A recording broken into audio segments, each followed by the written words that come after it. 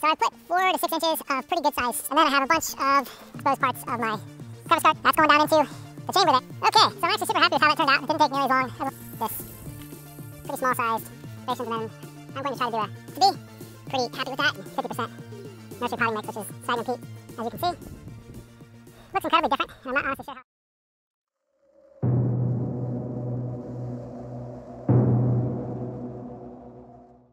Keep watching and we'll talk about my latest agricultural horticultural project. The crack, crevice, scree, rock garden. So what you see here is the beginning stages of my attempts at building a concrete rubble based crevice garden, scree, rock garden.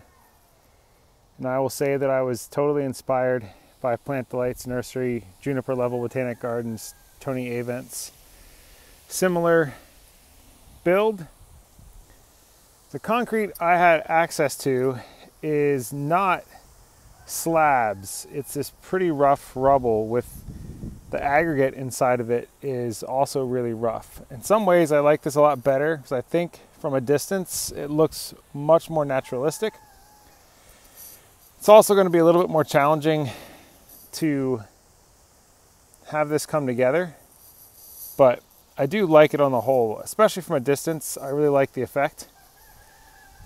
So, a couple things to talk about as we go through this. So, let's just pace off the bed here a little bit so you get a sense of the size of it. One, two, three, four, five, six, seven, nine, ten, eleven, twelve say it's 35 to 45 feet long. And at the widest point, both the back side here by this arborvitae, which I grew from seed, uh, I started it about 15 years ago. And the center point here by this Chamaecyparis pisifera, this is actually the widest point if you measure from the point of the rocks to the opposite point of the rocks. But probably at this point, you're probably looking at about five feet wide. The actual planting area, obviously in the middle there, is more like 18 inches. And just some general thoughts about these pieces. So I'll move one here so you can see. All of them have one flat side at least, if not multiple flat sides. So this one, see, flat side, flat side. All right. So what I've tried to do is the largest flat side is on the ground.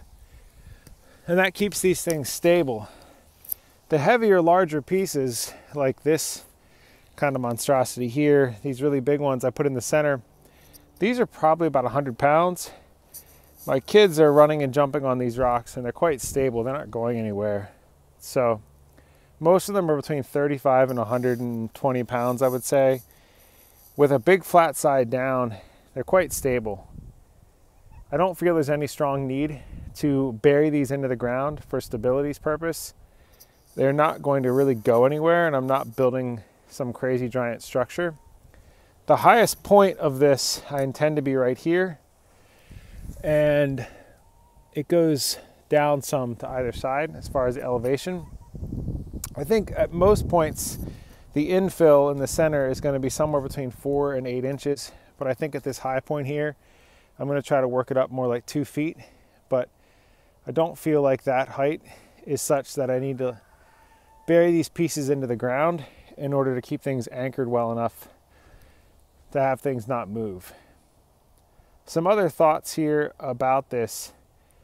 So I tried to keep this as naturalistic looking as possible. And the first way I did that is you try to keep the elevation of the rocks fairly consistent, right? So as one merges into another one, I'm trying to have the, the rock next to it be approximately the same height. And it doesn't always work.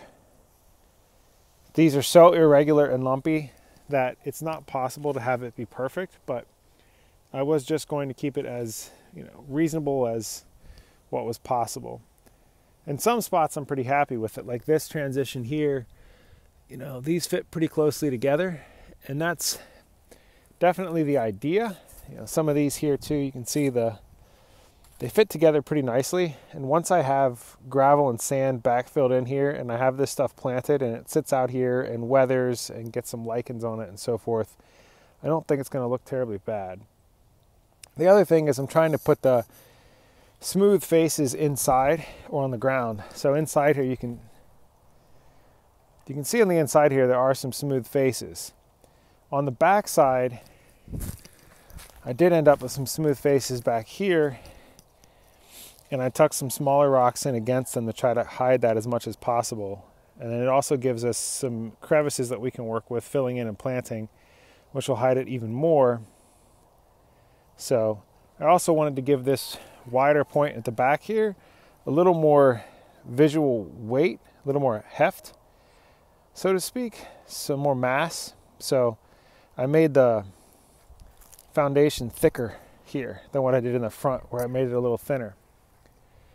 So most of this I intend to backfill with first a layer of fairly coarse gravel or stones, and then on top of that I'm going to place some more of the concrete rubble and kind of arrange the concrete rubble in a way that's looks sort of natural and I can get some nice crevice features. So here where we have it high in the center, I do still have some more pieces that are fairly big like this and I can kind of work them in hopefully in such a way that it looks sort of natural and then do that in some other spots. I'm not sure I have enough pieces to do a complete like total crevice garden in the way that most of these are. I think there's spots where I'm going to just have to wedge rocks in. The rocks won't go all the way down to the ground in some cases. I can maybe give you the visual effect, but it won't be a completely legitimate situation in some cases, but we'll do the best we can, use up a lot of this rubble. So let's talk about this, right? So I intend to make a reptile, most likely snake, in-ground hibernaculum here. So I'll document that to the best of my ability. I've been really frustrated at this property. I've never found a snake on the property here and we've been here 12 years now. Never found a lizard, been here 12 years. And that is frustrating for me. And I think the issue is there's just not enough exposed rock work, enough good places for them to hibernate, sun themselves, uh, get away from predators like this girl. So, we're to make a snake hibernacula. This is also an, a neat uh, chance to take a look at what the subsoil and soil is here like at our house. So, you can see there the hole is about two feet deep. The frost line here, you should go two and a half, three feet. But I'm also going to be mounding this up, sort of, uh, sorry, I'm to mound this up quite a bit. So I'm going to gain another eight inches or another foot easily of uh, insulation and thermal mass on top of that. So I think when everything's said and done, I'll have three feet easy, and I feel like three feet is quite good. The water line to our barn is buried at two and a half feet, and it never froze, even during the minus 12 and minus 16 degrees polar vortex winters. So I think I'm pretty safe going two and a half, three feet, especially with a lot of these big rocks as thermal mass. So I'll start documenting this here in a second. I did want to mention a few other things. So if you see here, most of our yard is on a pretty good slope. I'm not real worried here about the drainage because we're already at a nice angle here. And there's plenty of crevices and cracks in the rocks for water to flow away.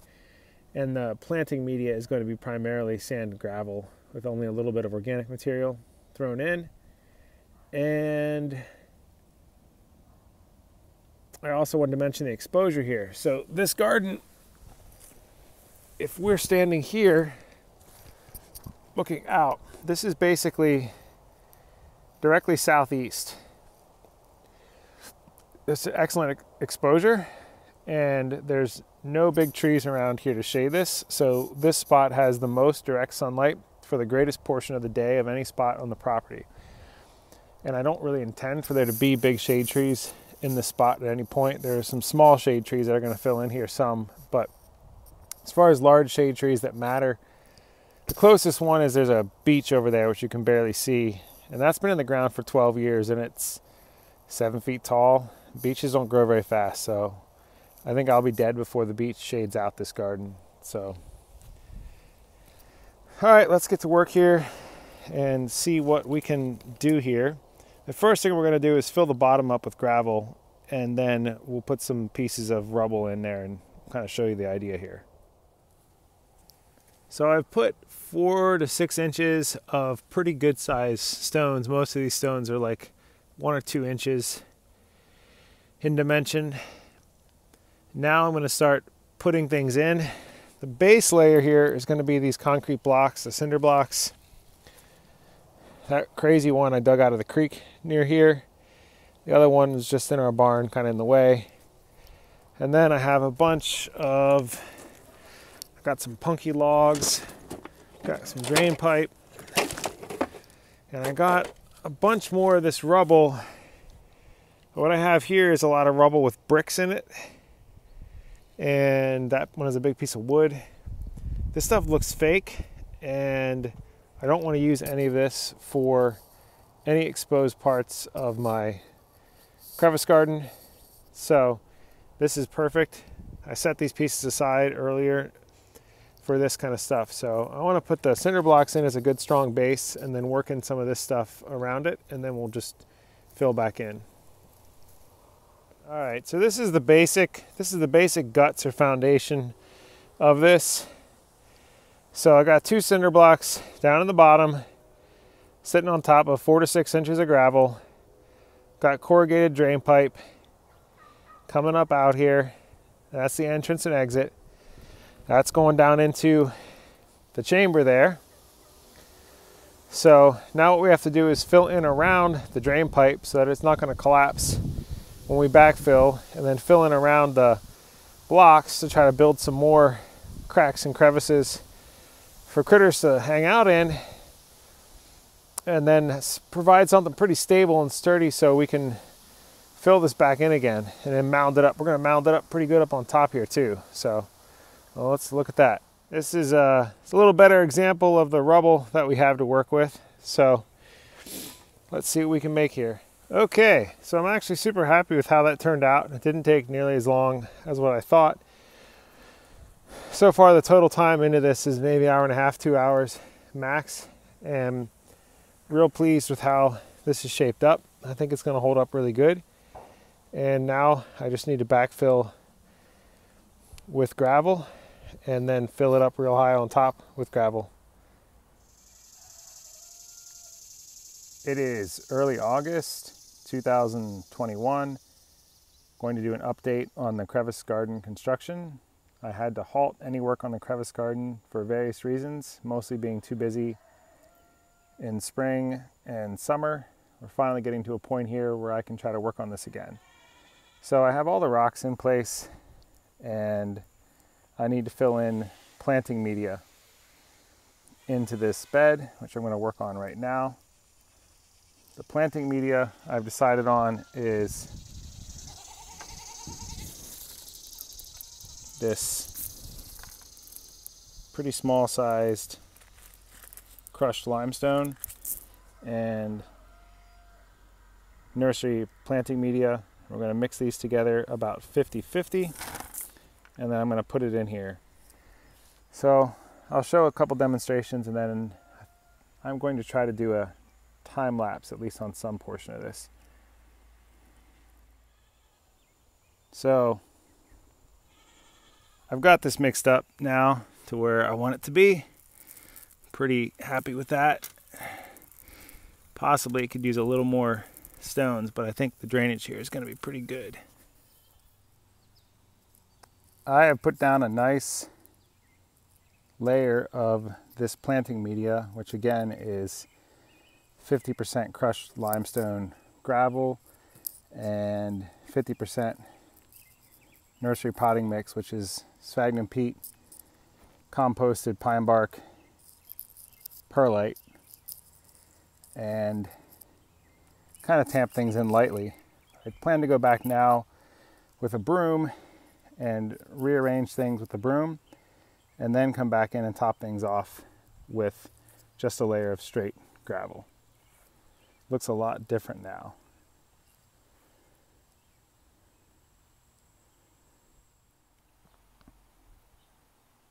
So I got this bed finished. I topped everything off with a nice thick layer of this finely crushed gravel. As you can see, looks incredibly different and I'm not honestly sure how I feel about it at this point. Hopefully it will grow on me. Also, I certainly don't consider this the finished product. It needs to get rained on, which I think if we have some good rain here in the fall, it will compress everything down by probably two inches. And it'll end up exposing a lot more of the underlying rock and also some of the rock will get washed away here and there, make things look more naturalistic. Just very raw and fresh looking right now. And of course we need to get plants in it. I may add a few of the really hardy Opuntia type cacti or sempervivums this fall, but I'm not planting anything until after we've had several inches of rain and this had a while to settle. And realistically, most of the real rock garden, alpine, crevice garden type plants I don't intend to plant in here until this coming spring, probably more like April, May. So this can just settle down and relax. But now the reptile and amphibian hibernaculum in this portion has easily had another, probably close to another foot of material piled up on top. So I think there's certainly quite safe at this point in that thing. And then once we get even more vegetation up there, this is going to be a lot of cactus. That'll even just build up more insulation over there. So, crevice garden build coming along really nicely mid August 2021. Thanks for watching.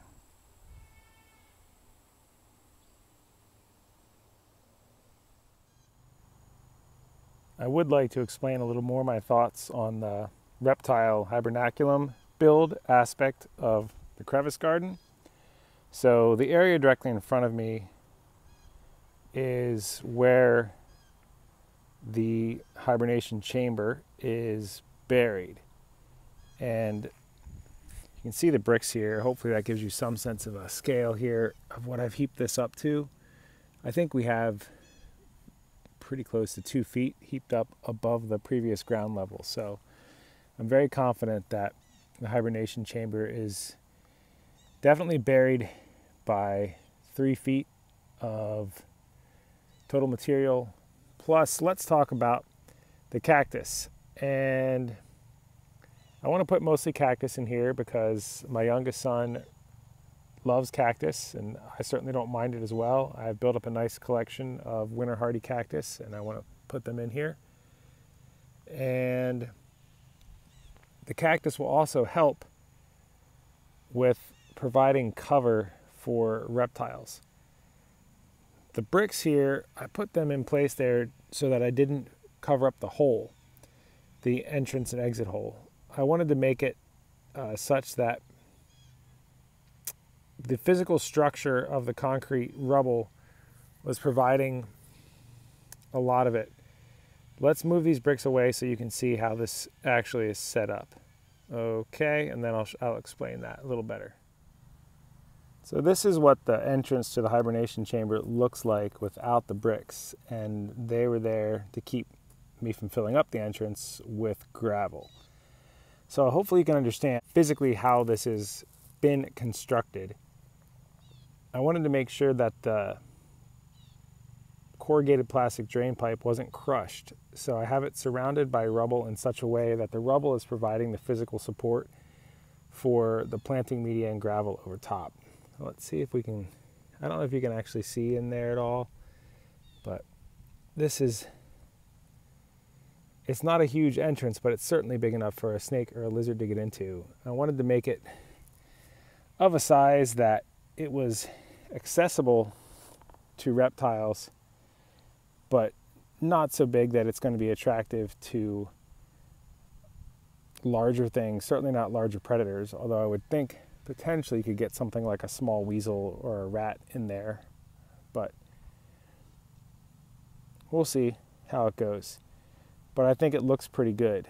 My intention here is to get some cactus that trail downward, some of the opuntias that are more of a ground cover type, and they can kind of cover that partially. And I think the thorns on those would be a deterrent to mammals in a way that they wouldn't be to reptiles. So hopefully that can work. It's probably not obvious there, but I can see the corrugated plastic drain pipe inside there. So the system seems to be working as it should be.